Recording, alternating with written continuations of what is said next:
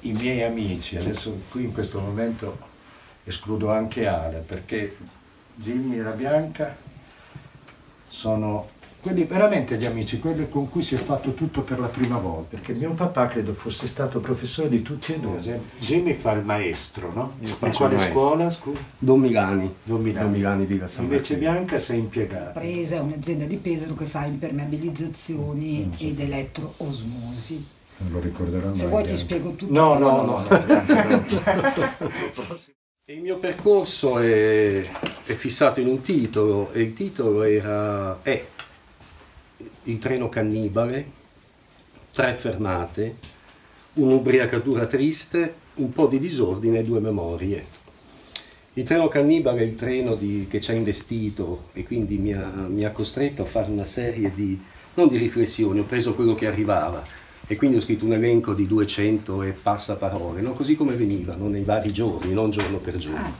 Era proprio il treno che arrivando da lontano, nelle parole lo, lo ritrovo, no? tu lo senti che arriva da lontano e non ti preoccupi, no? rimani sulla linea, al di là della linea gialla. Poi pian piano si avvicina, si avvicina, ti fai un po' più indietro, ti viene un po' più di paura, stai attento. Infatti in questo elenco di parole si vede che le prime sono parole quasi per scherzo, coronavirus, ho scritto cicognavirus, scalognavirus. Poi diventano un pochettino più, non scelte, sempre prese da quello che sentivo, però eh, c'è una maggiore interpretazione di quello che stava succedendo. C'è virus per ricordare il periodo, ma c'è per esempio faccio il pane in casa virus, nel senso che non solo è diventata una, una necessità, anche una moda, Sì. ma adesso è cannibale perché si è mangiato quell'azione. Cioè adesso il pensiero di fare il pane in casa, oppure tutte quelle demagogie, quelle parole che si sono sentite, il virus se le è mangiate. Un po' come succedeva in guerra, no? che tu, tu proponevi ai vecchi di mangiare a mio padre il pane nero, non lo poteva vedere, Certo. perché vissuto in quel momento, quel momento se l'è mangiato, si è mangiato sia il pane, quindi non volevano più vederlo. Allora rileggendo tutte queste parole ti accorgi di come queste parole, queste azioni che abbiamo fatto quotidianamente sono state divorate, cioè non, vorrei- non- non vorresti più vederle, non vorresti più sentirle. Impegnati in, ehm, in video lezioni, sincrone si chiamano, e asincrone sono quelle attraverso la mail, quindi ti arrivano le mail dei bambini, dei genitori, anche quelle all'inizio molto affetto, qualcuno stucchevole, teniamoci vicini, sentiamoci, ci vogliamo bene, no? E tu, tu scrivevi queste cose qui, poi anche da quel momento c'è stato un cacchio, ci si è non stufati, perché non è stufati, però vedi che il linguaggio diventa più asciutto man mano che vai avanti, più, più secco, più professionale, pur rimanendo affettuoso, ma il primo momento veramente andando a rileggere le mail sono piene di, Mm, di tentativo di farsi Vicino. coraggio, di sentirsi, di sentirsi stato di spiegare ai bambini in video lezione i novilaresi, che sono i piceni, no? quindi la Mm. popolazione antica Sì. di 700 a.C., e tutto il rito funebre dei novilaresi. Nel momento in cui in televisione il rito funebre ci dicevano che era annullato, Abolito. abolito. E lo presentava ai bambini come è un indicatore di civiltà, il- di, di crescita della civiltà e, e quindi di pensiero religioso, poi pensiero filosofico. Improvvisamente veniva annullato e quindi c'è stato questo momento terribile che parlavi di qualcosa di 2700 anni fa e nel tuo tempo si interrompeva. A Gianni Rodari, arrivata a Gianni Rodari, è la grammatica della fantasia, dove lui, un testo che ho riletto, veramente ho studiato, sottolineato in questo periodo, e lui parla, eh, tra le varie tecniche per, per, costruire racconti fantastici, del, ehm, dell'errore, l'errore creativo. Quando fai lezione in videolezione, la DAD, la didattica a distanza, ti manca l'imprevisto, l'imprevisto che ti dà la relazione, che ti dà in classe il bambino. Storia diversa, incontri che si, che si incrociano, veniva a mancare di colpo. Quindi quello mi è venuto a mancare molto in questi due mesi, cioè avere questa possibilità di lavorare sull'errore creativo, sull'imprevisto. Il virus ci ha trovato preparati perché è una forma di mascheramento, ce l'avevamo già. Cioè il fatto di usare la tecnologia, di usare i telefonini è tornato utile adesso, ma una forma di mascheramento sociale, di distanza sociale, secondo me, perché insomma la vedo così da un po', c'era già. Quindi non è vero che è stato, secondo me, così difficile affrontare la quarantena, al di là della paura, al di là delle preoccupazioni, dei dolori, però eravamo attrezzati. Il 4 maggio sono uscito, sono uscito a fare le mie passeggiate, io di solito vado verso le rive, verso Novillare, ed è l'ubriacatura triste perché all'inizio è stata un'esperienza sensoriale mostruosa, no? I colori, gli odori. E man mano che scendevo da via Barilari, che scende bellissimo, si vedono le montagne, e dopo un po' non, non mi piaceva più. Non mi piaceva più perché era vuoto, mancava quello che dicevo prima, i racconti, le persone che ti girano, uno che si dimentica, torna indietro, ti sbatte contro.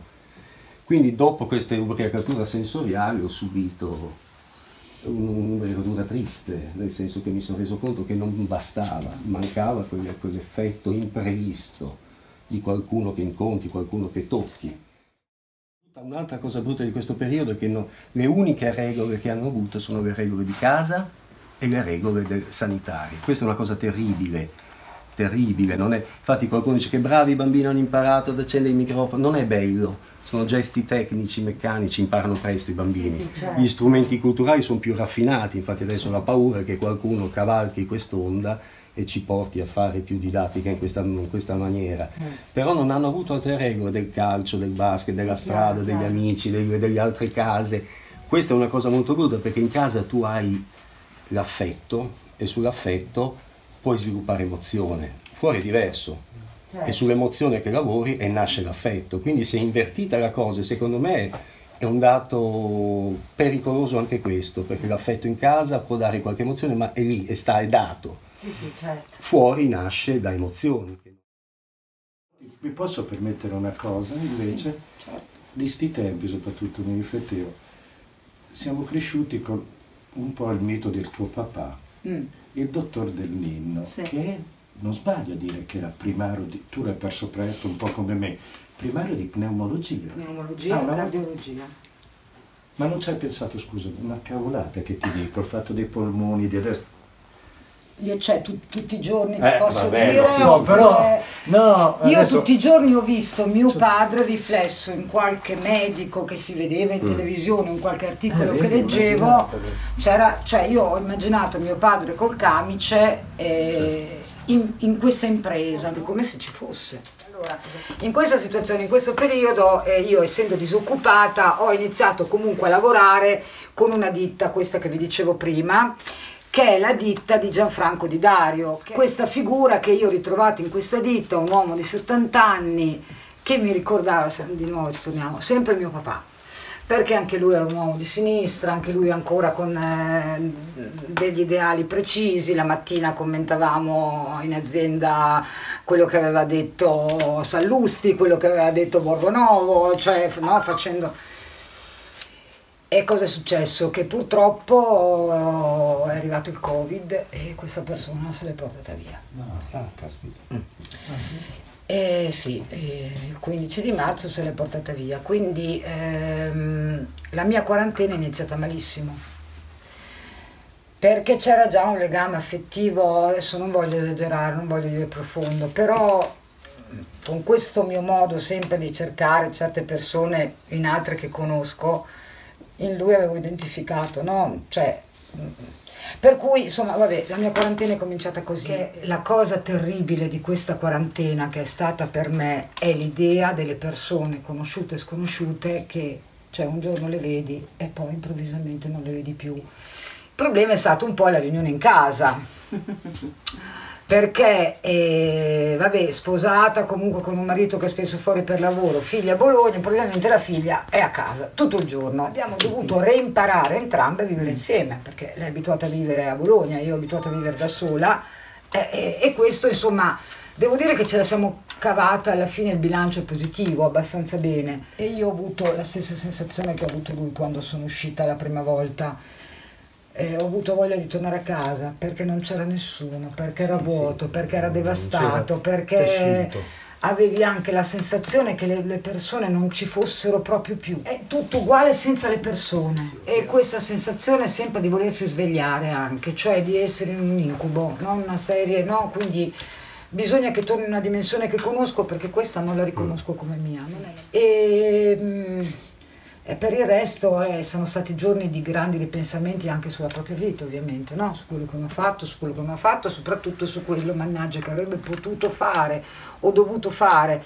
Pensieri che ho cercato di reprimere con violenza perché eh, questo tornare indietro in maniera ossessiva comunque non è costruttivo, ma in un momento della vita in cui tu non riesci a programmare un futuro, perché il futuro ti è scadenzato da dei decreti o comunque da delle scelte di altri, a cui tu ti devi adeguare, ti adegui anche volentieri nel senso che capisci l'utilità di queste limitazioni, però eh, non riesci più a programmare banalità, un, un, so, un, un aperitivo, un, parrucchiere, una cosa, cioè quelle cose che erano tue, acquisite, non, non ci sono più. E quindi cosa fai? Non potendo programmare un futuro, ritorni indietro nel tempo. Avrei una domanda io. Ah. Se Giovanni aveva già questa giacca ai vostri tempi?